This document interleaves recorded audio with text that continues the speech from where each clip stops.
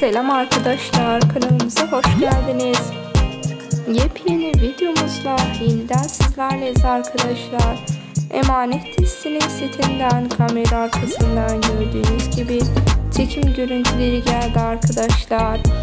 Ve bu görüntüler karakolun yakınlığında çekildi. Ve bakalım Yaman burada ne yapıyor arkadaşlar? Yine Yaman tutuklanacak mı? Karakolda Yaman'ın ne işi var? Dizimizin yeni bölümlerini sabırsızlıkla bekliyoruz. Umarım artık bundan sonra yeni bölümlerde güzel sahneler gelir ve Yaman'la Sihir'in mutlu ve güzel anlarını doya doya izleriz. Yeni videolarımızı sizler de kanalımızda kaçırmamak için kanalımızı lütfen izlemede kalın. Yeni videolarda görüşmek üzere. Hepinize iyi seyirler.